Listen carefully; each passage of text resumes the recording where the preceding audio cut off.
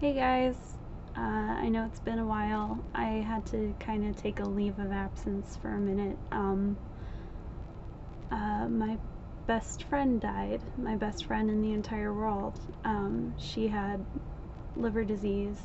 Uh, she needed a transplant, but um, she ended up being too sick. Uh, so she wouldn't have survived the surgery anyway. Um, so yeah, that's why I've been gone for a while. I don't know how many of you care, but that's why. Um, and here we go, on with the video. Buckle up, Buttercups, because boy have I got a story for you today. Uh, this book is only on tier 2 of the Disturbing Books iceberg that I'm using. However, I feel like it should be way further down. Um, this is the second book that I've read by Matt Shaw. The first one was uh, Sick Bastards, if you guys remember that one. Um, and honestly, I was more disturbed by this book than I was Sick Bastards, even though Sick Bastards is on the final tier of the entire iceberg. Um, I feel like there was just one main disturbing scene for me in Sick Bastards, um, whereas this book has continuous disturbing scenes. Um, however, I am someone that uh, could easily be triggered by um, firearms in a school setting. So if that is something that bothers you, you may want to skip this video. Also, for the sake of explaining this on YouTube, um, these are high school students. I am going to assume that they are all seniors in high school and they are all at least 18 or older. That's what we're going with. Our nameless protagonist is a high school student who moves around because of his dad's job. Uh, he has recently settled into his current high school and has even stayed long enough to make a friend this time. We start this day with our protagonist entering his classroom uh, and he proceeds to uh, produce a firearm and hold his entire class hostage. He turns his attention to a girl named Rebecca and he recalls the night when she invited him to a party and pretended to want to have sex with him.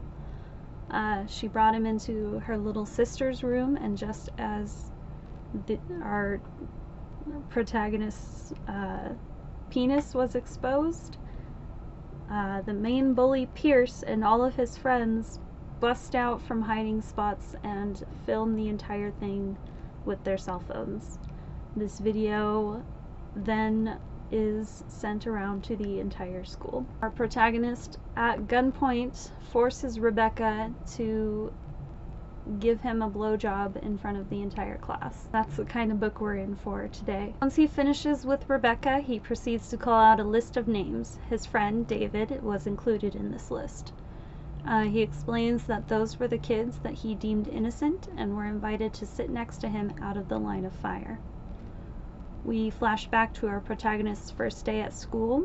Pierce and his friends were bullying David for being gay, and our protagonist stood up for him. Later that day, Pierce and his friends viciously beat up both our protagonist and David. Uh, they refused to tell the headmaster who did it, and that's when Rebecca approaches them and invites them to her party, saying that it was cool of them for not snitching on Pierce.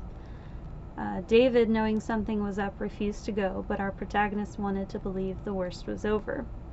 Um, after the party that night, our protagonist would contemplate suicide. He then tries to make Pierce stand up, but Pierce calls his bluff.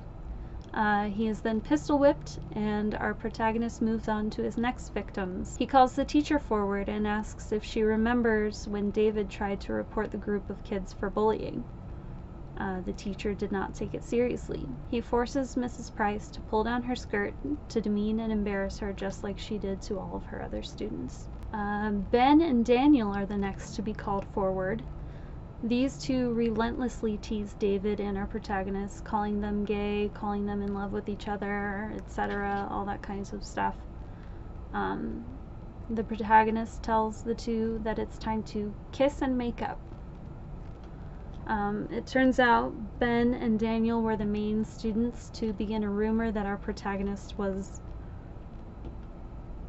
Can I, I don't know if I can say this word on YouTube. Everyone acts like we can't.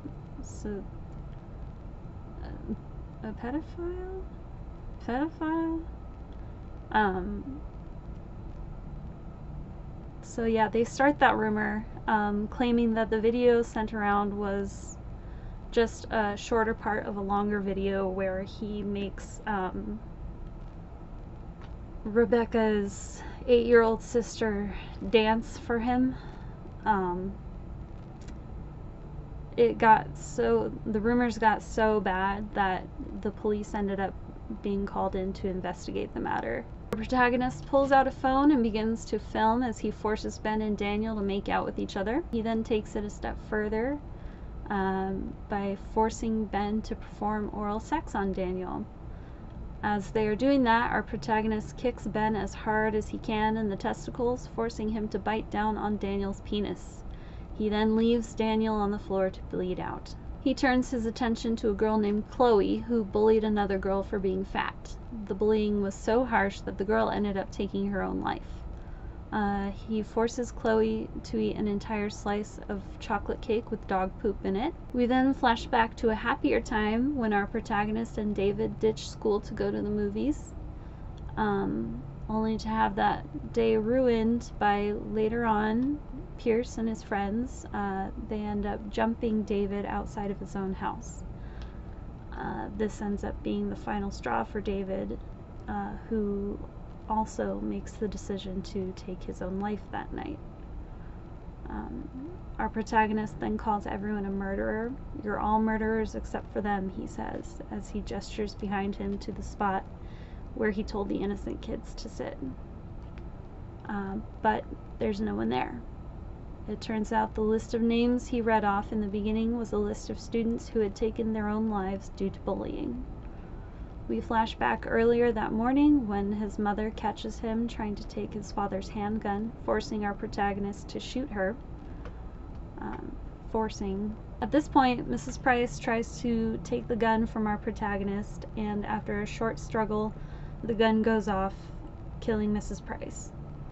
Um, all the while, our protagonist insists that none of this is his fault and he was forced into this by all of them, Pierce in particular. The head teacher then enters the room and our protagonist points the gun at him. Tell me about David, our protagonist says. Uh, the head teacher starts by saying that David was a confused young man, which causes our protagonist to shoot him. David wasn't confused, he says. He was a victim. He turns his full attention to Pierce now, forcing him to admit that everything that happened was all his fault. He tells Pierce to open his mouth as the police show up. Our protagonist puts one ear to Pierce's mouth and presses the gun to his other ear. He imagines David is there. David tells our protagonist that he loves him. Our protagonist finally realizes that he loves David too. He pulls the trigger, and that's the end. Whew. So that was a book I read. Um, again, this book disturbed me a lot more than Sick Bastards, but that's just me. Um, I want to add that if you're watching this and you're feeling bullied or harassed, please, please reach out to someone. I promise there are more people out there who care uh, than you think. Um, also, if you see someone being bullied or harassed, please, please step up and say something. Um, it's not okay and it's as someone who was bullied for a really long time it's a painful thing to have to go through with nobody with feeling like nobody's on your side. Um, so yeah everyone just be kind to each other please. Let's just make this existence as painless as possible please. Um, you don't need to go out of your way to be cruel to somebody else. Uh, anyway, that's all I've got for today. Um, thanks for sticking with me uh, if you made it this far. And yeah, if you're into this kind of thing, maybe subscribe. Uh, maybe check out some more videos. Um, I know that I saw Matt Shaw's name a bunch more times on this list, so uh, we'll be in for a treat later on down the road, I suppose. Anyway, uh, the end. Thanks. Bye.